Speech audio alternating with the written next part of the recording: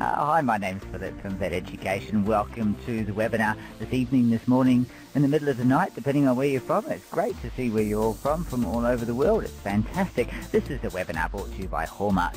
PetVet MRI, an introduction to MRI physics, and our speaker is going to be introduced in a little bit, uh, Dr. Steve Roberts.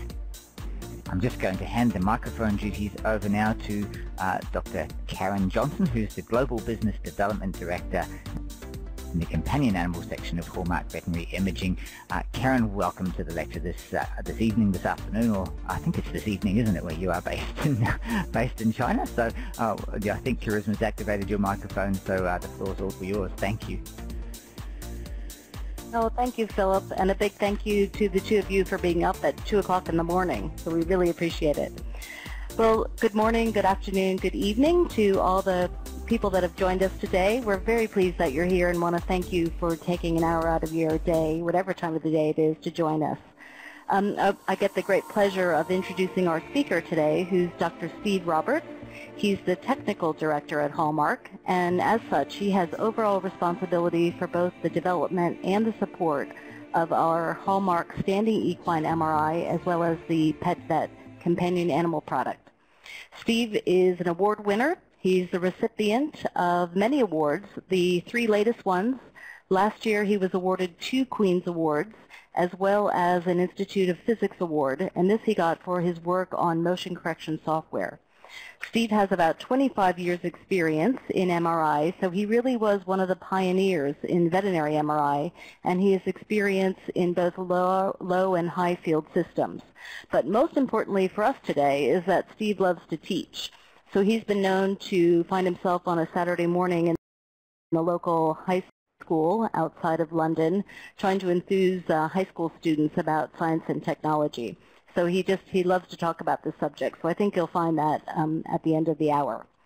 So we have heard from many of you that MRI physics can be quite complicated, whether you're um, a resident training or whether you're in practice um, as a GP or a specialist. And that's really what prompted this webinar.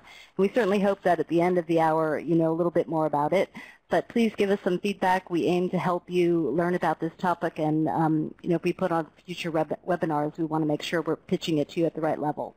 But for now, I'll turn it over to Steve, and he'll speak for about 50 minutes on an introduction to MRI physics, and then we'll take questions at the end. So thank you very much, and Steve, over to you. Thank you, Karen. Um, thank you for that kind introduction, and uh, welcome to everyone wherever you are. Um, it's about 5.30 in the afternoon here, just outside London. And um, as uh, Karen said, I've uh, I've been an MRI physicist for nearly 25 years, and uh, I did some calculations. I think during that time I've worked on the development of about 20 different MRI scanners, most of which were unique at the time they were developed. So I certainly know a bit about MRI, and uh, but even I'm still learning some of the subtleties of MRI physics, even all these, after all these years. But I think MRI physics, although a very complicated subject, it's important that we you know, uh, people using the MRI machines get some understanding of what's going on. So uh, this hour lecture gives a, a, chance for me to go through some of that. Um, I'm going to go into um, four subjects, um, four regions, and um, you should see that come up in a second, hopefully. There we go. So I've split it into four sections, uh, and there'll be a chance between each section to, um, to answer some questions. And the idea being that after these four sections, you should hopefully have a good introduction into the uh, into the how MRI systems work and the physics behind it. Um, before I start that, it is actually possible to summarize MRI in three short paragraphs. So I, am going to put this slide at the beginning and the end of my talk, and uh, hopefully I'll make a bit more sense towards the end. But certainly what I've done here is uh, try to highlight in bold some of the key points of these three paragraphs. So I'll read it out to you and I'll, I'll explain a bit around it. So MRI is a non-ionizing imaging technique. What that means is it's not like X-ray and CT. We're not using things that can cause potential harm to biological tissue you're looking at magnetism and radio waves. It involves strong magnets which align protons within the hydrogen nuclei of biological tissue, primarily water and fat molecules. So when people talk about imaging protons, that's true, but we're only imaging protons within the hydrogen nuclei. Radio waves are passed through the biological tissue, which cause small changes to the magnetic alignment of these protons, and this results in a very small, weak signal to be emitted. The signal is then received, amplified, and importantly the phase, frequency and amplitude of this signal is analysed by an MRI computer to produce the image. So from these three paragraphs, pretty much summarising all the important key parts of what goes on in an MRI scanner, and I'd say I will go back to this slide at the end, but for now um, you can see that, you know, particularly I'm going to dwell on the phase, frequency and amplitude aspect because that's really important to how you spatially encode the signals and produce the image. So when we talk about the origin of MRI, actually I always like to show this slide because um, on the left-hand side you have the very first MR image. This was back in 1973 uh, by Peter Lauterbur and his team.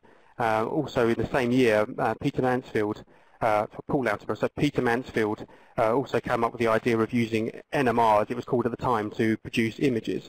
And in fact, you can see on the left-hand side is the very first image, which is just two tubes of water, uh, which actually were rotated inside a special magnet. And then the image on the right is actually the very first human MR image from 1977. Uh, you can see obviously just about make up some detail in there. There's some kidneys at the back of the, this is sliced through the abdomen of a human.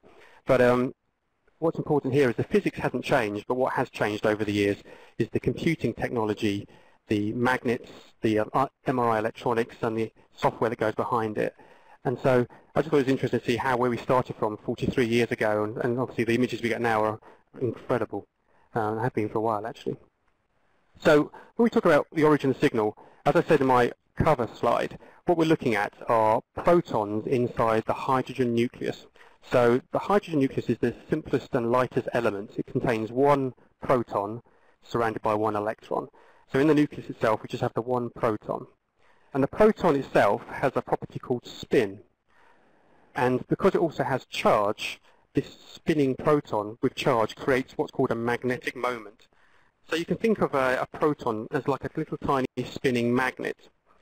Now the important thing about hydrogen is because it doesn't have any other protons or neutrons inside the nucleus, there's only this one proton, so it doesn't have any interactions with any neighbours.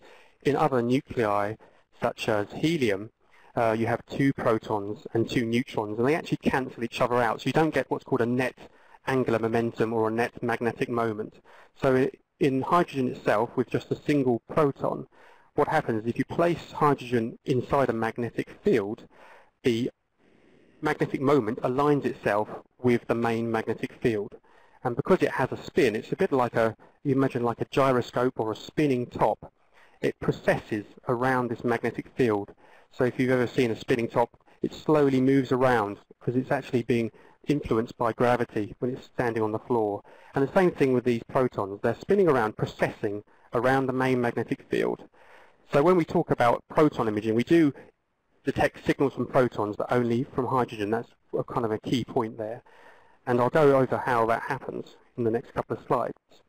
So if you assume you have no net magnetization, so if the protons, let's say, for example, in a cup of water, so we have our water, but if there's no main magnetic field, the protons will be randomly aligned, as you see in this uh, slide here. But let's say we put this cup of water into a magnet, and I've represented the magnet here with a north and south pole, and I've given an amplitude which we call B. So in MRI physics, we always talk about the strength of a magnet, uh, and we always refer to it as B, or sometimes B0. Um, the Earth's magnetic field um, is a lot weaker, obviously, than the MRI magnets, but we measure fields in Tesla, so the Earth's magnetic field is about 0.00005 Teslas, whereas a lot of human MRI machines in hospitals are running at 1.5 Teslas. That's about 30,000 times stronger. So we're talking about very strong magnetic fields here. So if we place our cup of water with all these protons in the hydrogen nuclei into this magnet, a strange effect happens where the protons, because they have a net magnetic moment, they align themselves either parallel or anti-parallel to the magnetic field. And what's interesting is there is a small difference between the number of protons parallel to the number of protons anti-parallel. There's a very, very slight preference to be parallel to the magnetic field.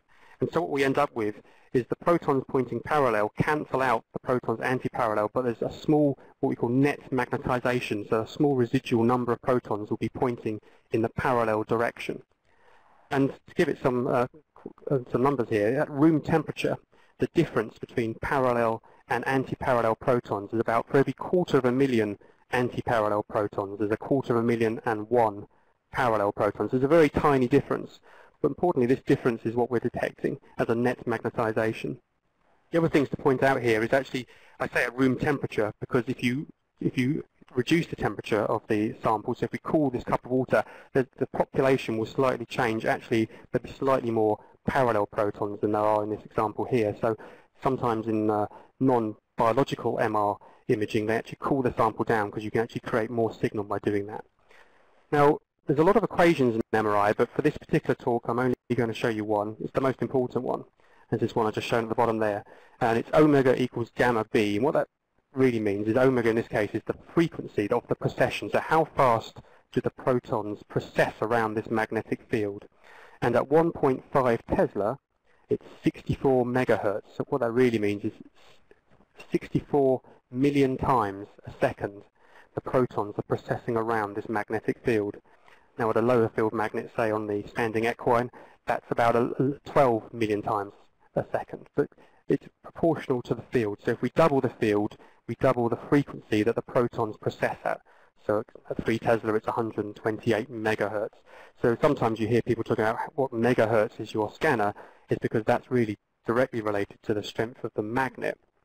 And 64 megahertz is, is the frequency for a 1.5 Tesla scan, scanner. And it just happens to be that 64 megahertz is in the radio wave spectrum of the electromagnetic spectrum um, as I'll explain in a minute. Because what we have here is a stable system of protons precessing around a magnetic field, but at the moment we have no way of producing or detecting a signal. To do that, we need to create a secondary magnetic field. So, in my example here, what I have now is, again, we have our magnet, and we have the protons inside pointing either parallel or anti-parallel. And to the side of the magnet, I've actually represented two coils. One I call a transmit coil and the other one a receive coil. In some machines, like the standing equine, actually there can be just one coil that does both. It depends on the space available inside the magnet. But certainly most clinical and veterinary MR systems will have at least two separate coils. Now, as I say, the protons are precessing at 64 megahertz.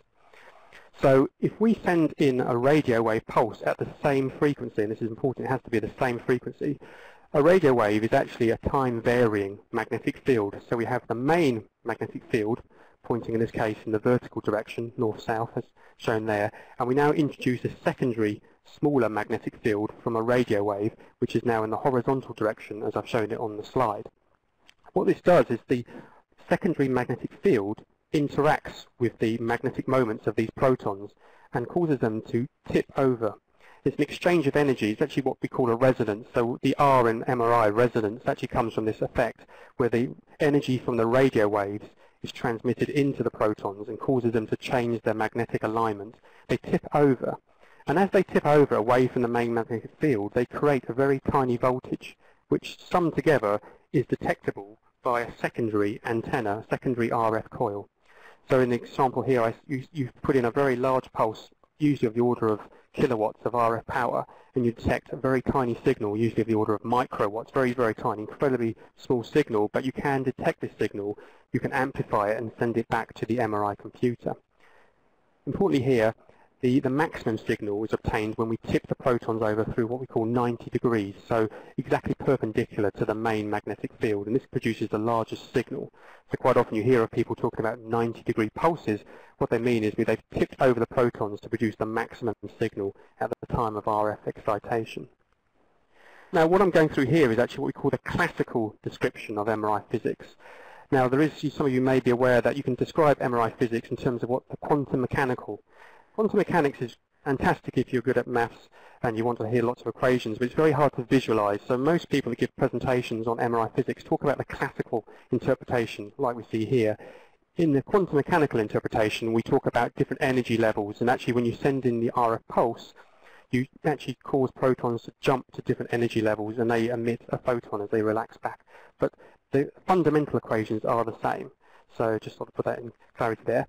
Um, the other thing is the signal that comes back, uh, if you can see if I move this pointer over to this area here, this is the received signal, which we call an FID, which actually stands for free induction decay.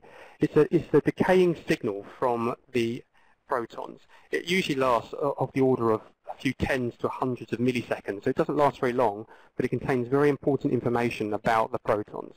I'll explain a little bit more about that later on. And that's processed by the MRI computer to produce images. But again, that's a, a complex issue which I'll go through in a few later slides. But this is fundamentally um, how the MRI signal is created in the first place, and uh, hopefully that makes some sense to all of you.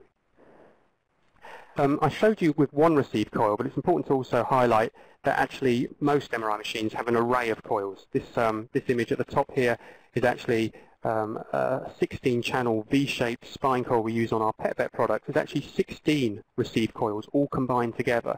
And the reason you do that is the smaller coils actually have higher sensitivity and pick up less noise, but they cover a small region. So by having an array of receive coils, you can combine them together to produce one image, in this case of a large dog spine. The other thing I'd like to highlight in this part of the talk is the fact there are different types of MRI magnet. Um, two main types primarily now. There used to be a third, but they don't make the, the, uh, the third version anymore. So I'll dwell on the two main types. There's the permanent magnet, like the standing equine. A permanent magnet actually uses a rare earth metal called neodymium, and that is magnetized in a factory and stays magnetized, a bit like the magnets you find on fridge doors sometimes. Um, and those blocks are placed inside a steel yoke. And this particular magnet is always on. Actually, the magnet in this drawing here, actually, this photo is actually this blue thing here. That's it's the two poles where the horse's leg goes in the middle. Importantly here, the field goes left to right as you see it on this particular magnet. And a lot of permanent magnets are what's called this open design. Their field strength varies from about 0.1 Tesla up to about 0.5 Tesla, and they're sometimes known as low field scanners. It's all relative because obviously even a 0.5 T scanner is 10,000 times stronger than the Earth's magnetic field, but relative to some other scanners it's classified as a low field scanner. But it has many advantages in the fact that it's permanently on uh, and actually cheaper to make because it doesn't require electricity to maintain the magnetic field. The second type of uh, magnet is called superconducting. Uh, this is a quite an exotic magnet, although very common.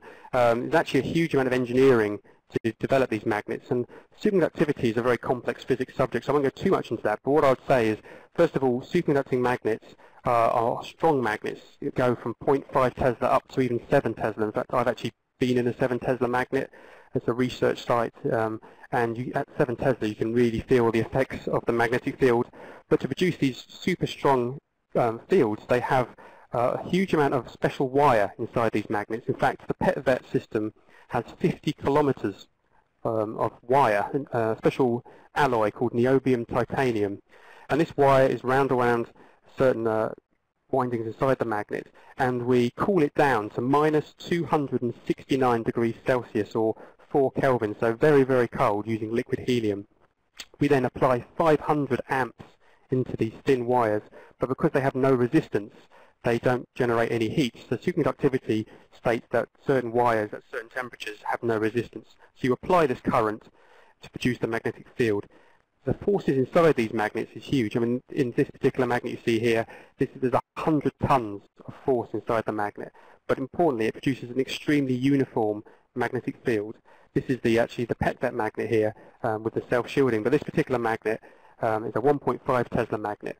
And we calibrate the homogeneity of this magnet, we, we get a we want a uniform flat magnetic field inside the magnet, and we aim for a field which is in, measured in parts per million.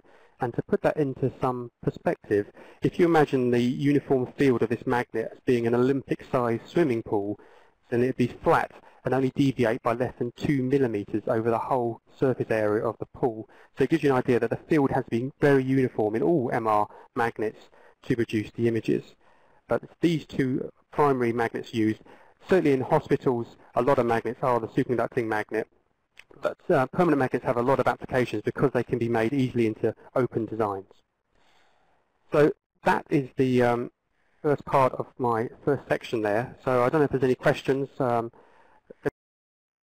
I don't know if there's anyone who's uh, any questions you want to relay right now, or I can move on to the next subject.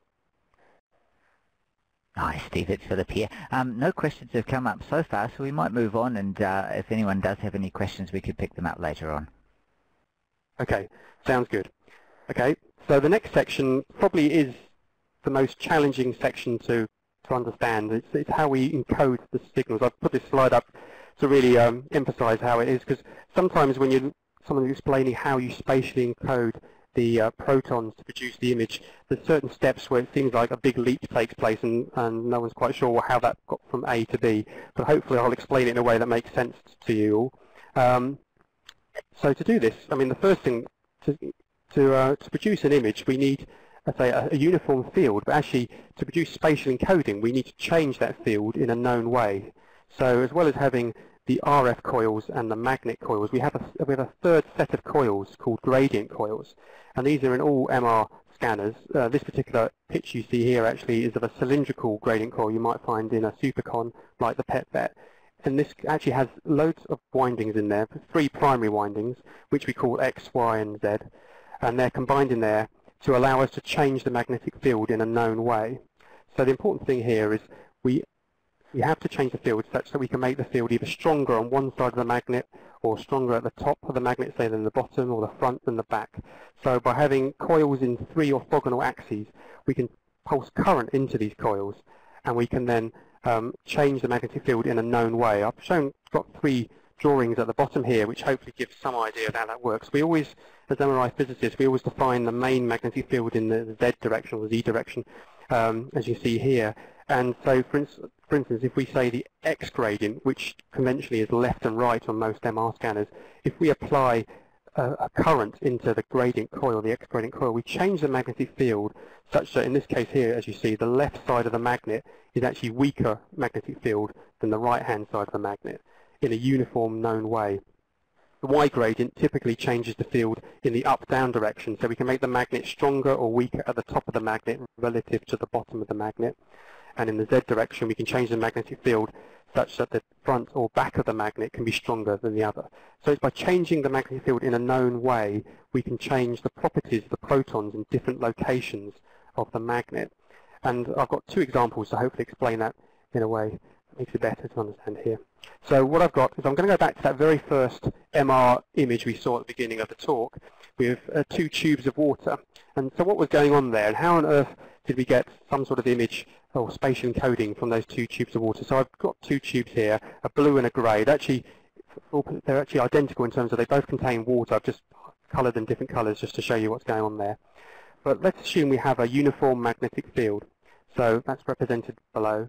That's a normal uniform magnet what happens when we then send in an RF pulse into these two tubes of water?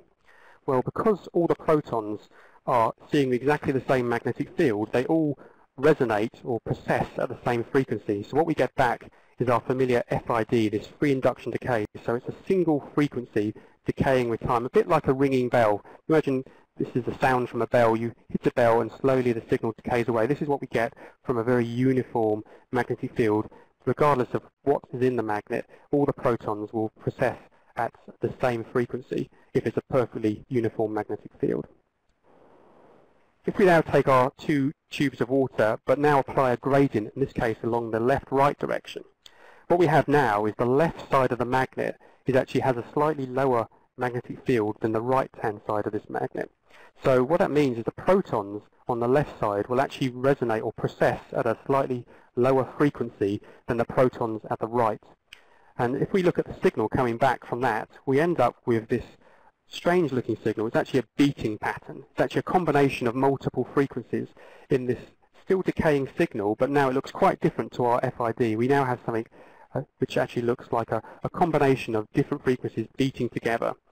And this is because we've changed the magnetic field in a known way, and protons on the left are precessing at a slower frequency than protons on the right. If we take our two signals, how do we then take this information and make something that's useful to us? Well, if we look at the times, this is as the data is acquired and sent to the MRI computer. We have two sets of signals here, um, but we can do what's called a mathematical algorithm called Fourier transform. Now, a Fourier transform takes uh, a time signal and finds all the frequency components in it. So it, it changes from a time signal into a, into a frequency spectrum. So if I just show you that, hopefully it'll make some sense. But if we do a, a mathematical Fourier transform to these two signals, on the first signal here, what happens is we pick out the single frequency. All the protons are at the same frequency. So when we now look at our spectrum, this is now a spectrum, we see that we have one peak representing the frequency of the protons. This peak actually has a slight whip to it, but that's because we have a decaying signal, and that's a, just a consequence of a Fourier transform. But importantly, if we now look on the right-hand side, we've done the same Fourier transform to this different shaped signal, but now what we have, instead of a single peak, we actually have two peaks, uh, two broader peaks as well. And what these peaks actually represent are the two tubes of water. So the peak on the left-hand side actually represents the tube of water on the left side of the magnet, and the right-hand peak represents the tube on the right-hand side of the magnet. If we actually removed one of these tubes from the magnet and repeated this scan, we'd end up with a single peak in the position that that particular tube is located. So what we have here is actually what you say in the simplest term is a one-dimensional profile, a one-dimensional image of those two tubes of water. This is actually what we call frequency encoding, because what we've done is we've applied a gradient such that the frequency of the protons changes with position. So the protons in this location have a low frequency, the protons over here have a high frequency. And by using this Fourier transform mathematical algorithm, we can pick out these frequency components from this what looks like a random looking signal. So importantly, we've actually managed to get some spatial encoding into those two tubes of water. Now, to progress it further, to get a two-dimensional image, it's actually easy to look at a slightly more complex object. So now I've got a, a, an object made of six blocks. Um, each block has uh, is labelled A to, through to F, and they have different amounts of protons in them. So if you, as you see it here, block C has a, a large number of protons. So for instance, if these blocks represented six cups of water, this would be a, a full cup of water. Whereas A and E represent maybe a cup which is two-thirds full, and the bottom row, B, D, and F, have maybe a third of water in them. So this object represents um, six quadrants or six blocks, each with different amounts of protons in them. So how would we get spatial encoding into such an object? Well, if we don't have a gradient field, when we actually send in our RF pulse, we end up with different amplitude signals from those six blocks, but unfortunately when we acquire them and receive the signals, because they all have the same phase and the same frequency, they all arrive together and are indistinguishable. So we end up with a, a, a, a signal which is a mixture of all the signals in these what we call voxels. And a voxel is a name we give to a 3D pixel. So if you imagine each one of these blocks is a voxel, and this represents a voxel here, each voxel has the same phase and frequency, different amplitudes, but unfortunately we can't tell the difference between each block when we receive that signal because we can, can only tell the difference between phase and frequency as I'll explain in a second. So what we need to do now is we do need to spatially encode these block, these blocks to actually work out the amount of protons or the, the density of protons in each block uh, and then produce a grayscale image. So what we're trying to do is we're trying to represent this real object as an image made of grayscales such that it will look something similar to the object we've actually drawn here. So we'll end up with a bright uh, light grayscale at C, darker grayscales at the bottom row, and slightly in between on A and the E um, sections there of that, of that object. So to do that, first of all, we can apply, as we know already, we can apply a frequency encoding. So just like we did with the two tubes of water, we now have frequency encoding going, in this case, from left to right across the object. And as you can see, what's happened is actually the frequency of the blocks in the A and B sections have got less, they're actually a lower frequency because they're in a, the magnetic field has reduced, so they're precessing at a lower frequency. The protons in the middle blocks are actually at the same frequency because the gradient is in the middle of a magnet is, is zero, and so here we have no change in frequency. They're the same as they were before the gradient was applied. On the right-hand side of this object, we now have two blocks with higher frequencies. So we actually have spatial encoding in the left-right direction. So if we now process this the same way we did with the two tubes of water, we end up again with an interesting looking signal, but when we Fourier transform this, we try and find the frequency components inside that signal, we end up with three peaks, each peak representing a column, as you see here. So the first peak represents the signals combined from the A and B blocks. The middle peak represents the signal from the C and D blocks, and then the final peak here is from the E and F blocks. So we have got spatial encoding, like we did with the tubes, in the left-right direction, frequency encoding as we call it. So we have, again, our one-dimensional profile in a rudimentary form here, um, but we still can't discriminate every single um, block. We can't tell exactly how many protons are in each block, or the proton density in each block. So what we need to do is we need to apply a, an extra spatial encoding element uh, along the up-down direction. And this is the part of MRI spatial encoding which gets quite complicated. In fact, the people that developed this won Nobel Prizes for their work. So it's, it's, not, a, it's not a simple uh, concept, but I think I'll try to explain it in a way that hopefully makes sense. What we do is we apply what we call a phase encode gradient in the vertical direction. So I've drawn it there. So we now have a, a single phase encode gradient. And what that's done is we apply that gradient, unlike the frequency encoding, we only apply it for a short duration, switch it off, and it causes the phase of the protons to change with position. So as you can see here, the signals are actually inverted. The top row uh, um, actually has signals which are inverted relative to the bottom row. The frequencies are also obviously still encoded as before from the frequency encoding, but now we have in introduced an extra level of encoding. In fact, again, if we get the signal back from that um, acquisition, the signal has changed yet again because we've now actually, instead of adding together, what happens is these signals actually cancel. So we actually have smaller signal because A and B actually subtract, a bit like noise cancelling headphones, they're subtracting because they're opposite phase. Uh, and again with the C and D blocks and the E and F blocks. So from this, we now have every single voxel or block has a unique phase and frequency. But before I move on, I just want to dwell a bit more on phase, because phase is sometimes is a hard concept to uh, to understand. But I, I think one good way of describing it is um, if you imagine three clocks on a wall, um, and the middle clock is very, very accurate. The clock on the left loses 10 minutes per day, and the clock on the right gains 10 minutes per day.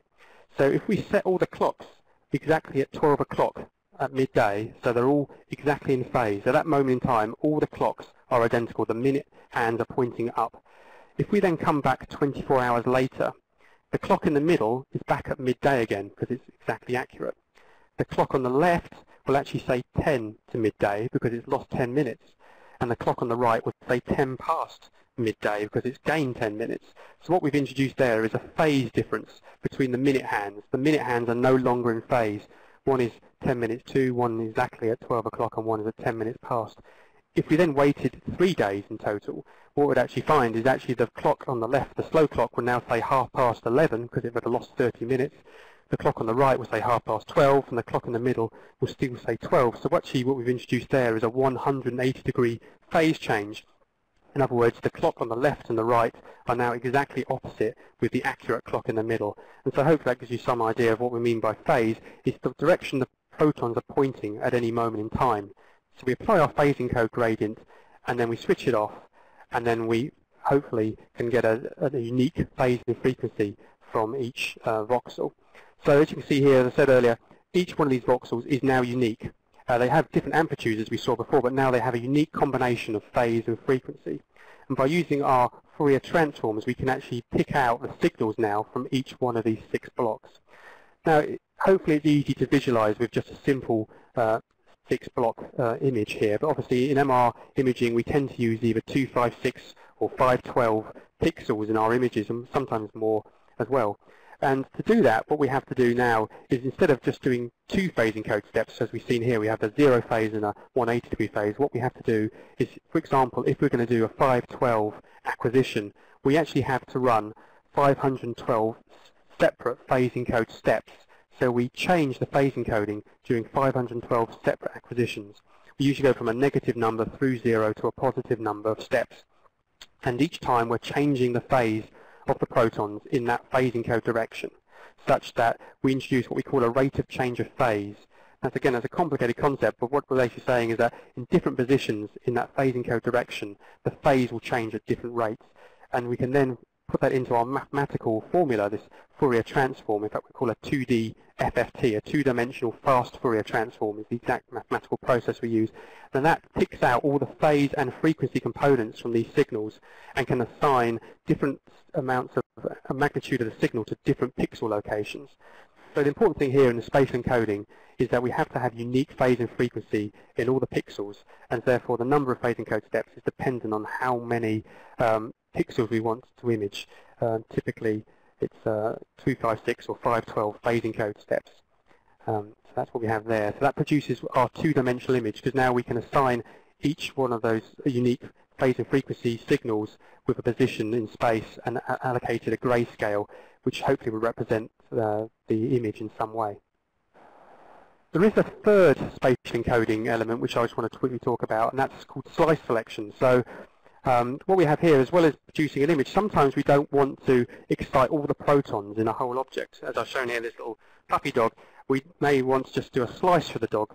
So what we end up doing is actually putting in a special RF pulse rather than a, a, a short pulse. We put in a longer pulse which has a special shape. We call it a sinc pulse.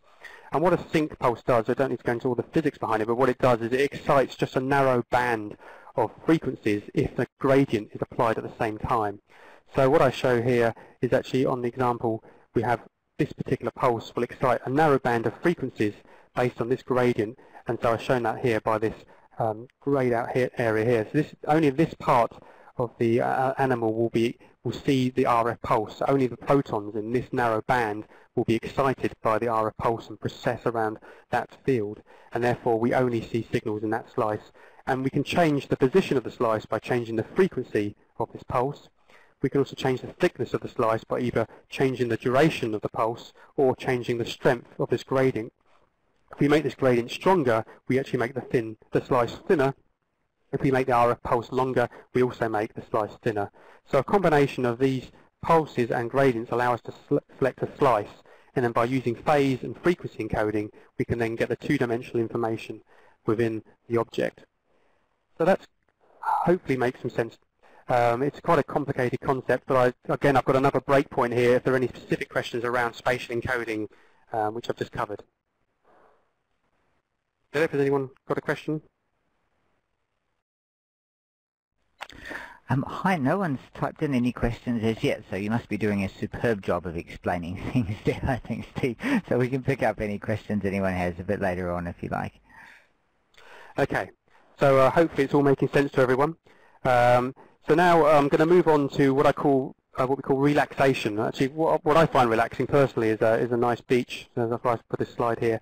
But uh, actually, in, in, MR, when we talk about relaxation, uh, we mean something different. So relaxation is incredibly important for another part of MR, and that's the, the ability to distinguish different tissues. So what, when we talk about relaxation and image contrast, what are we actually talking about? So fundamentally, after we send in our RF pulse, there are two relaxation mechanisms which take place simultaneously.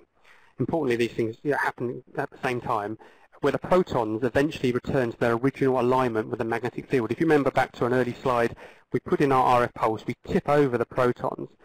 But what happens is once the RF pulse is stopped, the protons will eventually relax back to their original state.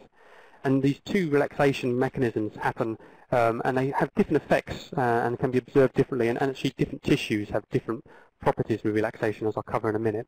So if we go over what are the two relaxation mechanisms, the first one is due to imperfections within the main magnetic field. No magnetic field is perfect. As I said before, we, we do calibrate these magnets to extreme high tolerance, but no magnetic field is perfect. So the magnetic field plus the interactions of neighboring protons. So the protons see their neighbors, and the neighbors obviously have a magnetic field, and that magnetic field interacts with them. And what it does is it changes the phase of all the protons depending on their neighborhood. A bit like we said with the clocks. So initially all the protons are pointing together, but because of their neighbors and because of their magnetic field, after a very short amount of time, protons start to either move faster like the fast clock or slower like the slow clock, and they fan out just like the minute hand I was talking about earlier, fan out in different directions so they're not pointing in the same direction, and that causes a signal to decrease. And we call that time constant for that decay in signal. We can actually call it, officially it's a T2 star relaxation. And because it's T2 star because it's a combination of both the magnetic field and the neighbors that within the tissue that you're imaging. Now, if you just exclude the magnetic field, if we're just looking at the influence of the neighbors, in other words, what's in the tissue causing this dephasing, then we call that relaxation time T2 relaxation. Um, and that's quite commonly used uh, when we talk about relaxation times. We often talk about T2. We don't often talk about T2 star, but uh, just for clarity, T2 star is the official decay you see. The FID, when you look at an FID, that's decaying by a rate determined by T2 stars. It's a combination of the local environment plus the magnetic field. T2 is more specific to the tissues that are actually in the magnet at the time. And as I say, different tissues have different T2 relaxation times whilst this fanning out, this phase coherence is, lose, is being lost, at the same time the protons align themselves back with the main magnetic field. They point back up into the, into the main magnetic field direction. Um, and that the time it takes for them to recover is known as the T1 relaxation time. Uh, and again, for different tissues, T1 relaxation times vary. I'll give you some examples. In fat, for instance, fat has a short T1 and a short T2 compared to, say, CSF or water. So um, that gives us a, a, good ability to be able to distinguish fat from water in MR imaging. Um, likewise, grey and white matter also have slightly uh, closer but different T1 and T2 relaxation times. The grey matter actually has a longer T1 and a shorter T2 than the white matter by a small amount. But it's these uh, differences that allow us to produce different images and different contrast. Now, just like the spatial encoding, relaxation can sometimes be a hard concept to imagine, so it's quite useful to try and find some analogy to, uh, to help explain it better. And I find one that works particularly well for me anyway is this idea of a ringing bell. Um, so I hopefully, there you go. So this bell I've drawn here, I don't know if it's coming across on the webinar or not, is actually uh, a bell that you could swing, so the bell swings and makes a sound, obviously, as, as it hits the, uh, the thing in the middle. So we have two things going on simultaneously here. So we have a swinging bell and we have the sound from the bell. And you could say, and this is a comparison between T1 and T2 relaxation. In this case, T1 relaxation represents the swinging bell, and T2 relaxation represents the sound from the bell. And they may not be the same duration. For instance, a bell may stop ringing, but still be swinging. Um, in fact, in MR, that is actually true, that T1 is always longer than T2. So but what it shows here is that after a certain amount of time, the bell will stop ringing and swinging and be back in its original position, pointing down due to, in this case, gravity. Um, in the case of MR, it's due to the magnetic field. So if we see that as a swinging bell representing T1, the T2 is, as I said earlier, is the sound from the bell, the ringing bell, and if you actually measure the sound from a bell, it actually looks a lot like the decaying FID signal we talked about earlier on. So again, it is quite a good analogy to say that a bell actually is quite a good representation, a good way of imagining what's going on in terms of the two things happening simultaneously. And importantly, uh, different tissues have different properties. So you can imagine like fat is a different type of bell to a water. Uh, the water bell would ring for a long time and, and it would take a long time to stop swinging, whereas the fat bell would stop ringing quickly and actually stop swinging quickly as well. And tissues like um, cortical bone, I mean, it's interesting, we, you know, there are hydrogen uh, atoms inside solid uh, mineral bone, but we don't ever see bone on an MR scan. And the reason being is because because it's so tightly bound, solid materials are so tightly bound that the neighboring protons are close, that their T2 is very, very short. Their interactions with their neighbors is so intense that the signal decays away. It's like having a bell that stops ringing almost immediately. So you can only image tissues when there's still signal to be detected. So the signal from uh, the cortical bone actually decays away before we can acquire the signal, which is why you don't see uh, bone, solid bone on MR scans. It comes out black, uh, uh black pixels on the MR scans, whereas the softer bone marrow does come out brighter because it's a softer, less bound tissue which has a, a longer T2 and a longer T1. So I move on to next slide. Um, so when we talk about image contrast, it's actually dependent on a number of things. Um, I've listed them here. These are the primary things that determine image contrast. First of all, obviously, the difference in proton density. What, what I mean by that, as I said, like the different cups of water, is um, if you've got a cup of water that's full compared to one that's half full, you obviously have twice as many protons in the full cup of water.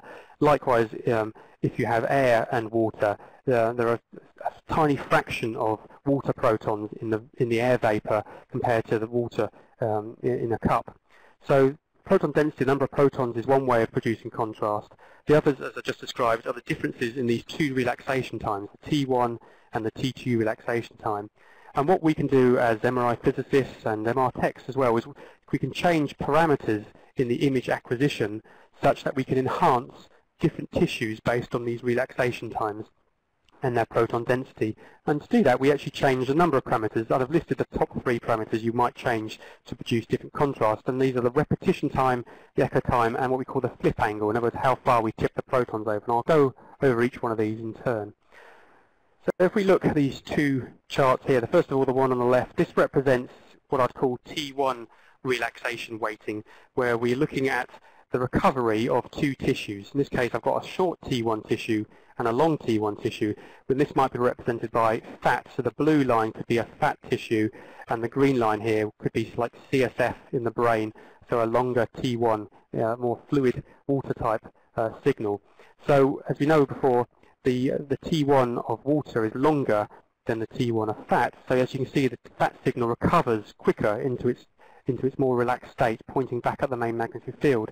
So in this chart here, we see just after about one second on this scale here, we see that there's actually a large difference between the two tissues. And this is actually the point of maximum contrast. This is when the signal from the, in this case, the CSF, is much less than the signal from the fat. And we can take advantage of this by selecting a timing parameter around this number here, say one second, to try and maximize this difference in tissue contrast. And that would be what we call T1 weighting. So we change this repetition time to, and depending on the T1s of the tissues we're interested in, we change it to maximize the, the tissues we're interested in, in distinguishing. Likewise over here, this is the T2 um, decay. So now again, the fat signal has a short T2, so the signals decay faster. Like in our bell analogy, the bell rings, the bell stops ringing faster. And this was represented by this blue line. The CSF signal, the long T2 signal, has a longer ringing bell or signal lasts longer before it dephases. So again, now we're looking at the echo time, and this is the time from the RF pulse to when we acquire our signal. We can change that time to again to try and maximize the contrast between different tissues. And as you see here, around about 0.1 of a second or 100 milliseconds, we get the maximum contrast between these two tissues. And so we can change these timing parameters to produce different images. And uh, as in any MR, we have what we call, uh, to produce an image, we have a different, what we call pulse sequences. A pulse sequences is a, is a sequential array of, of pulses of RF and gradients to produce our image. This is a, a simple example here of a gradient echo scan. And what we've shown here is the different parameters you can change. So when we talk about repetition time, we're talking about the time between the main excitation pulses. So this time can be somewhere as short as uh, 10 or even less milliseconds and as long as maybe 3,000 milliseconds or sometimes 10,000 milliseconds depending on the scan you're running. So the TR can change a lot and by changing the TR we change the contrast. The TE is the time from the pulse until the middle of our acquisition, the middle of our data acquisition, the middle of the frequency encoding as we call it here. So again we can change the TE and if we extend the TE then we can make different tissues appear brighter than others. The other things we can change is the resolution, as I explained in our spatial encoding section, the number of phase encode steps determines um, the resolution of our image and we can increase or decrease the number of steps and the spacing between these steps. And also we can change the number of points we acquire, the number of frequency encoding points. Again, that changes the resolution in the frequency encoding direction. And the whole whole sequence can be repeated a number of times. Now, as I said at the very beginning, the signals we're detecting from MR are very weak and uh, we pick up noise. Noise, RF noise comes from many sources, the resistance in the coils, uh, the preamplifiers and the electronics. And so we're always battling to try and get the best what we call signal to noise. In other words, we're trying to maximize the amount of signal so we don't get grainy images. And some way of helping us doing that, obviously changing parameters has a big influence. One parameter which does have a big influence is the number of averages, or NEX, as some people call it. And that's basically you repeat the whole scan a number of times. And each time we repeat the scan, the signal adds more than the noise adds. In fact, it's by a square root. So if we do four averages, we actually double the signal to noise. Square root of 4 is 2, and so we double the signal to noise. Um, so by changing this parameter, you can actually improve the image quality if that's something that's important to you. But of course, like all of these parameters, there's a trade-off with any MR parameter. So if you change any of these parameters, there's a consequence, as I'll explain in my next slide. This shows kind of a trade-off, I'd say, between different parameters. And I've highlighted in green and red where it's either a positive or a negative change. And ones I'd probably like to pick out on the field of view, and with how big is your image, you can change the field of view. MRI uh, techs will change MRI, the field of view sometimes for scans.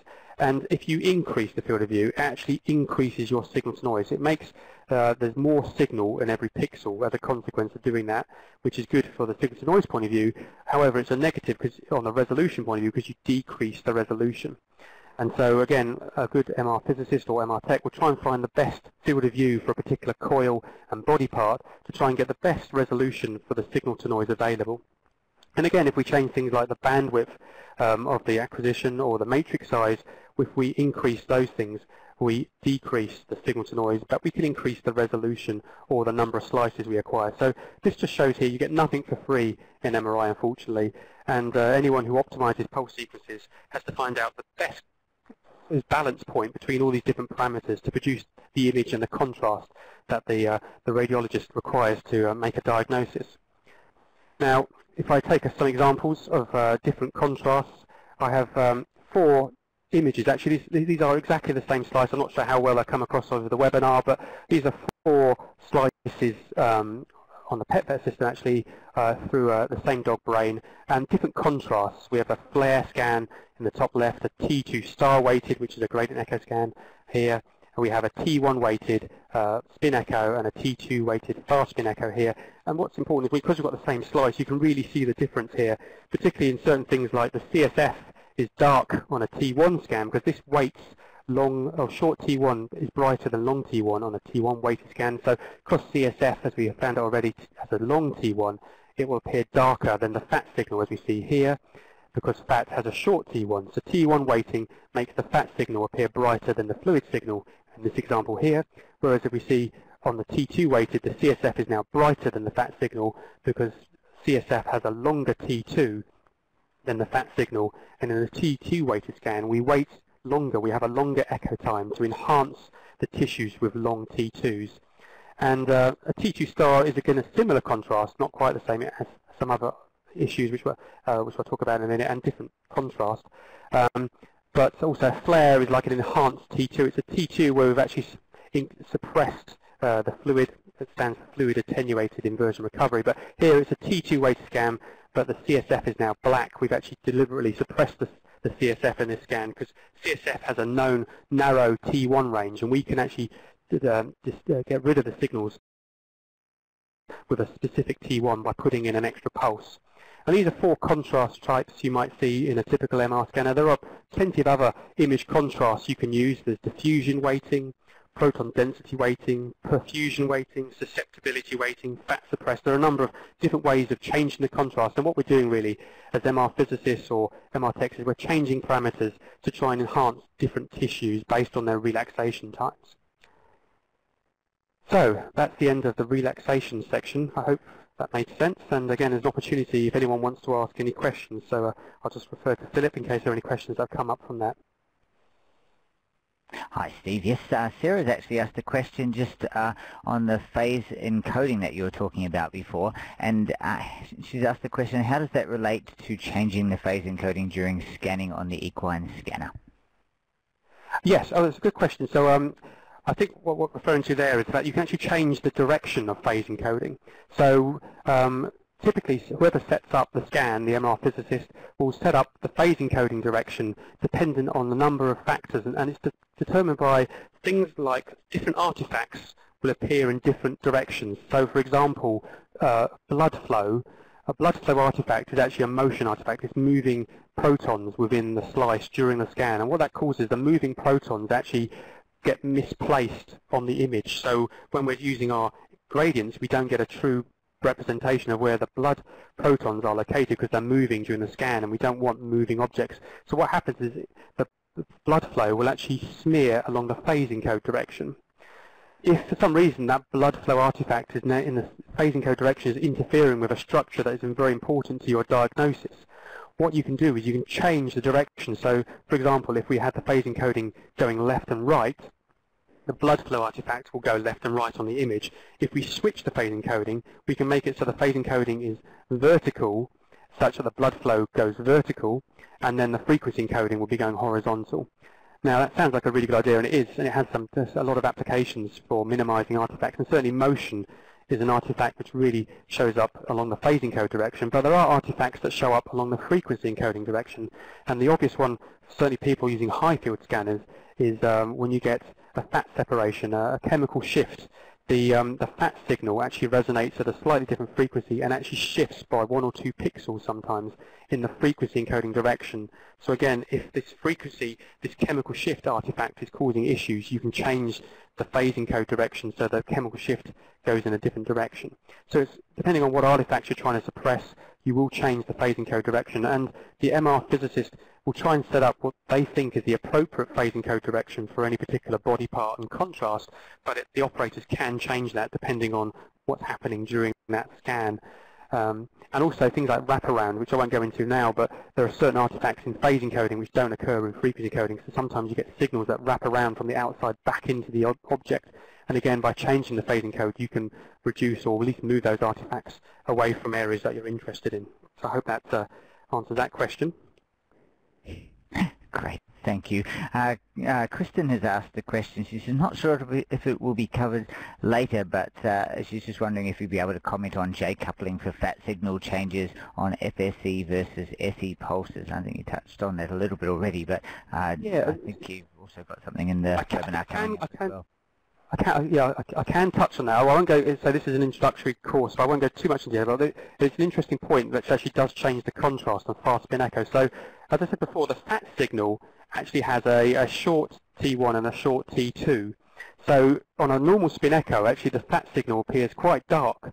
But if, if I, actually maybe I'll go back to that um, fast spin echo. So if you if you notice here, the, the, the fat signal on this T2 star weighted is actually dark. You can't actually see it as black up here, but the fat signal on a, a T2 weight is actually still visible and still quite bright. And that's kind of unusual because you'd think, okay, well, fat's supposed to have a short T2, so surely that should be dark like on the T2 star weighted. But actually in fast spin echo, there's a, an extra effect that's going on. This is, this is what's called JJ coupling, which I won't go into the physics of, but what it basically means is it enhances the T2 of the fat signal such because of we're putting in multiple RF pulses. On a spin echo, we use two RF pulses, which I'll explain in a minute actually, but on a fast spin echo we use a train of RF pulses, sometimes as many as 16 or 32 RF pulses, and that train of RF pulses actually changes the properties of the fat signal such that it changes their relaxation time um, and enhances the signal. So you end up with a brighter fat signal on a fast spin echo than you would on a spin echo. And that's one way, if you look at a T2 weighted scan, if you want to know was it a fast spin echo or a spin echo acquisition, the, the, the level of fat signal actually is one good indication for, which one it is. Um, say bright fat on a fast spin echo because of this J, J coupling. I hope that answers that one, but I won't go into too much more detail because it does get quite complex after that and how why that is. No worries. Thank you so much for taking the time to answer that. Uh, there aren't any more questions at the moment, so we can move on and pick up some more later on. Good.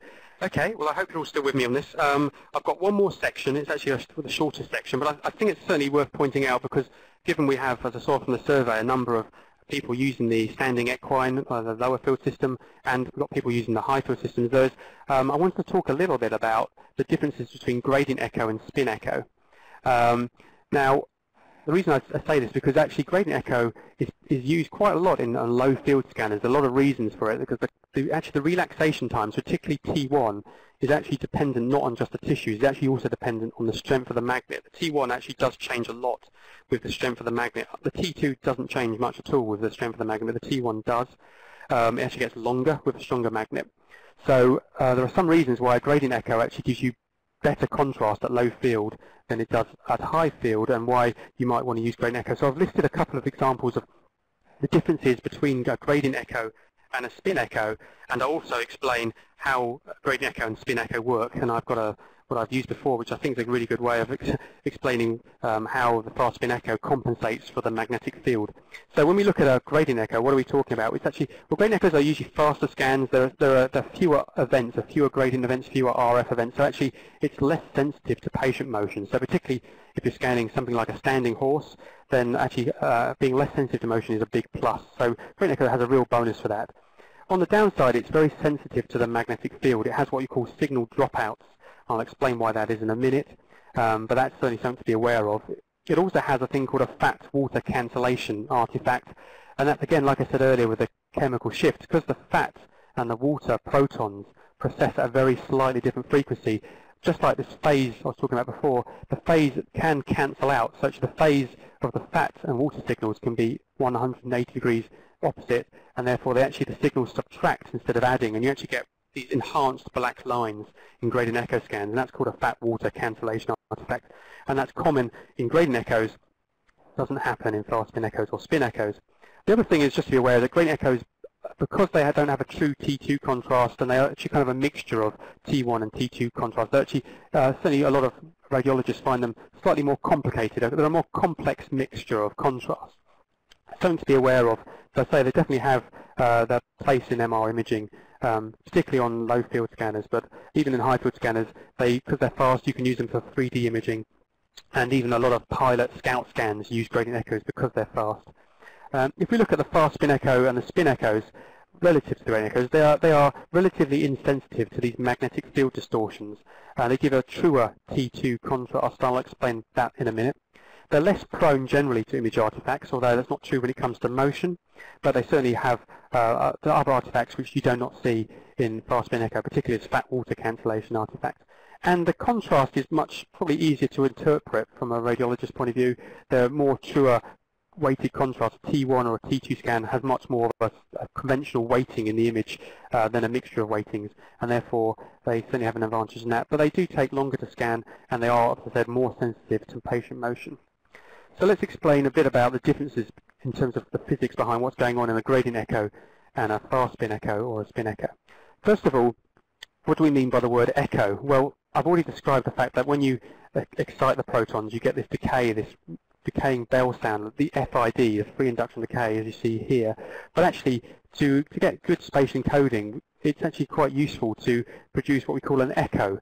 And in the simplest form, an echo is just a back-to-back -back uh, FID. So we, we dephase the signal such that they rephase to form an echo and dephase again. So imagine this is a two FIDs back-to-back, -back, which forms an echo. And the advantage here is we've actually doubled the duration of the signal. Instead of having a signal lasting only this long, we now have a signal that lasts twice as long because we've actually produced an echo. And how do we produce that echo? Well, that's different depending on the different scan type. In a gradient echo scan, we actually use the frequency encoding, also known as the read gradient. I didn't point that out earlier. Some people call the frequency encoding read, so that's just something to be aware of. It's exactly the same thing. When someone says read, they just mean uh, frequency encoding, and if they say phase, they mean phase encoding. So on this read gradient, this frequency encoding gradient, we actually, as you see from here, we have a negative pulse followed by a positive pulse. And what happens is negative pulse dephases the spins, and the positive pulse rephases them into an echo, which is why we call it a gradient echo, because we're actually using the gradient to form this echo. So one way of explaining how this works, and then also explaining some of the pitfalls maybe of, of gradient echo in terms of magnetic field homogeneity, I've actually created two examples. And this one, the first one is called, uh, I call it the gradient echo derby. And what it is, is it's a simple horse race with three horses. And this represent, these three horses represent protons in three different parts of the magnet. So if we apply these, this, these gradients, the negative pulse and then the positive pulse on this running track here, this represents the changing in the field due to the gradient. So we have our three sets of protons represented by these three different horses. But because no magnet is perfect, I've also added on this um, on this uh, running track some dirt and mud on one side of the track, such that the, the horse, the brown horse here, is going to have a tougher time running the race because he's got a slightly different surface representing a different part of the magnet which may not be as uniform as this part of the magnet here. So what happens then if we send in our RF pulse represented by the starter gun here, the horses start running and after, and after a time the horse represented down here um, by the brown horse here is actually going slightly slower because of this inhomogeneity in the track, representing the inhomogeneity in the magnet, such that by the end of the gradient event, all the horses do not finish the race at the same time. In other words, they're out of phase. We have these two horses are in phase, this horse is slightly out of phase, and the amount of out of phase depends on how bad or how inhomogeneous this track is. So this is a potential pitfall with gradient echo is that the more inhomogeneous the magnet, the more out of phase your signals can be after these gradient events. So that's just something to be aware of, and hopefully that explains a little bit how that happens. And especially when I show you the 180 degree um, from a spin echo, you'll explain, I'll explain why it's different in a spin echo. So what I have here, again, we have our decaying signal with FID, and I have another echo again in this spin echo example. But the difference being here is instead of using the gradient to create this echo, we actually use an, an extra RF pulse. This is called the 180 degree or refocusing RF pulse. And if you look at it, it's usually about twice the amplitude of the excitation pulse here. And in a spin echo, you tend to use a 90 degree pulse. In gradient echoes, you can use flip angles that are lower than 90 degrees, maybe even 10 or 45 degrees, again to change contrast and allow the scans to run faster. But in spin echoes and fast spin echoes, you tend to use a 90 degree pulse and 180 degree pulses. And what these pulses do is create an echo by changing or flipping, inverting the, the, the spins of the protons. And I'd like to show you that again now in my second example, which I call uh, the gradient echo derby. The other thing to point out again is now instead of having a negative gradient followed by a positive gradient, we actually have two positive gradients in the spin echo and fast spin echo. So if we go back to our derby, now we have what we call the spin echo derby. So again, we have our three horses again. And this time I'm going to modify the track based on the first gradient pulse, the positive gradient pulse. And again, the, um, I'm going to introduce some inhomogeneity in this magnet. So the poor brown horse here is representing part of the magnet which isn't very homogeneous for some reason. And um, then we're going to see what happens when we send in our 90 degree pulse represented by this gun. The horses start running, representing the, the protons precessing. And then by the end of this first gradient event, all the protons are dephased. What's important is you see that the, the protons represented by the brown horse over here is actually a long way behind the grey and the black horse. So this is similar to what we saw in the gradient echo, but what can we do about it? Well, we add this second, this refocusing uh, 180 degree pulse, so a second pulse, and what that does, it actually causes the protons to invert, to flip around, represented here by the horses flipping around. So now we have the horses pointing in a different direction, and actually as a consequence I've now changed the finish line to over here, to actually to where they started. The protons are now going in a different direction, they're going to complete the race, but the question now, of course, is which horse is going to win the race. And I think, I hope most of you will be able to work out that even though this horse has a massive head start, it has a tougher task. First of all, it has a longer bit of track to run, but also it has uh, a, a, compromised track due to this um, inhomogeneity. So as we watch these horses complete the race, we see that the horses all finish the race at the same time. And this is really saying that on a spin echo, no matter what inhomogeneity you have, if you invert the spins, uh, the protons that were slowed down or sped up by this homogeneity will see the same effect in reverse going back and therefore will be back in phase. It's almost like having the clocks, the three clocks, and then uh, switching them around so the slow clock becomes the fast clock and vice versa, and eventually they'll go back in phase again and say the right time again. So this is the same thing here. Hopefully this is a, a bit of fun really, but the spin echo derby I always think is a good way of, of explaining how a spin echo is different to a gradient echo in terms of compensating for magnetic field inhomogeneity. So if I go back to my original slide, actually right at the end of my talk now, so I thank you for bearing with me. Um, I want to go back to this because again I said from the time I finished my talk I hope this slide makes a bit more sense. So again, it, just to re-emphasize some of the points, and if, you, if, if nothing else you remember this one slide then with these three paragraphs, then it'll actually be useful information because really that's the fundamentals of MR imaging, is we're imaging protons, but only protons in the hydrogen nuclei, and they're primarily in fat and water molecules and biological tissue. Um, we pass radio waves, they say because these protons precess at a frequency that happens to be in the radio wave spectrum, we pass radio waves which produces a secondary field which changes the magnetic alignment and produces a weak signal from these protons, incredibly weak signal, and we're very fortunate we can actually pick it up and, and amplify it to produce anything useful. Um, and then we take that signal we measure the amplitude, phase, and frequency of these signals such that we can produce a detailed image using Fourier transforms, um, as I explained earlier. So again, thank you for bearing with me. Please remember this one slide if nothing else, and hopefully you found some useful things in there. And I just want to say thank you for your time. I obviously I'm around to answer some, some more questions, but I just want to point out that, you know, as I said at the beginning, MRI physics is incredibly complicated. You don't need to know all of it. I, so I've been working in MRI for 25 years, and even I don't know all of it. Um, these are some of the equations which actually describe mathematically what I've been talking about, but again, you don't need to know that. There are physicists and engineers that have to worry about that stuff. What you need to worry about as techs or as um, radio, radiologists is, is how best to use the MR, how to interpret around image artifacts, how to select the optimal parameters and, and, appreciate that how MRI works compared to other modalities. It's, it sometimes seems similar to CT, but actually works in an incredibly different way, um, and in my opinion, a much more complex way. Um, but it's uh, again, it's a very exciting and interesting modality. I've, I was, uh, I did, I did a physics degree, and I MRI was one of the modules, and uh, I immediately fell in love with MRI, and I decided that was the point where I was going to spend my career working MRI. Just love the application. I love the fact that it involves so many different bits of physics. It involves uh, quantum mechanics, as I talked on earlier. It involves RF technology, computing technology, superconductivity even. It's an incredibly interesting field, and I'm so glad that you've all taken time to show uh, some interest and listen to a bit about that. So um, that's where I'll finish, and I'm happy to answer some more questions. But um, thank you for your time. Well, thank you so much, uh, Steve, for a fantastic talk. Extremely interesting, and I think that's uh, reflected in all of the comments that are coming through. Uh, we can actually give, believe it or not, we can actually give Dr. Steve Roberts a huge round of virtual applause. Everyone, if you'd like to find a little person with their arm raised at the top of the screen, there's a down arrow next to that person. Click on that and find a pair of hands and give Steve a huge round of virtual applause. On behalf of uh, Vet Education and Hallmarq would like to thank you all for coming along today. Thank you to Hallmarq Veterinary Imaging and Dr. Steve Roberts and Dr. Karen Johnson for bringing you this webinar.